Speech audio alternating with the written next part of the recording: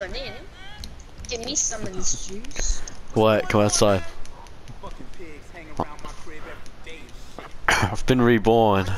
I got a tube, what? I got a tube. I don't want that piece of garbage.